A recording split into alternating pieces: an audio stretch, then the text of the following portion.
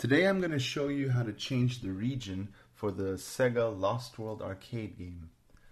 Many people have downloaded this ROM here, Lost WSGA, and when you opened it, it loaded in Japanese with um, English, uh, Japanese subtitles but English speech. And uh, I personally wanted to play it in the American region. There's a key guide. If you push buttons in an order, you can change the region. When you enter the service menu over here, you can't just change it like other games. For example, I'll go to game assignments. You see country, Japan. When I click the service button, I can't it won't let me change it to US. For whatever reason, Sega locked this one. So I'll just demonstrate. If I load the game, it'll be Japanese.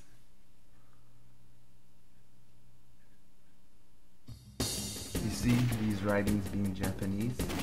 We want the original form. So push 7 to enter test menu.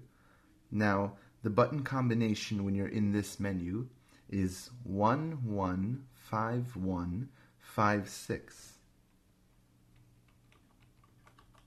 See, when you do that, it brings you to here.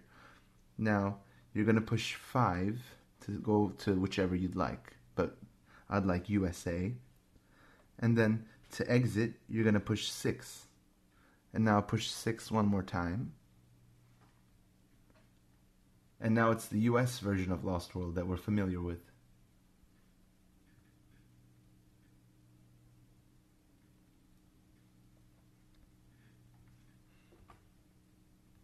they have the FBI warning in the US version.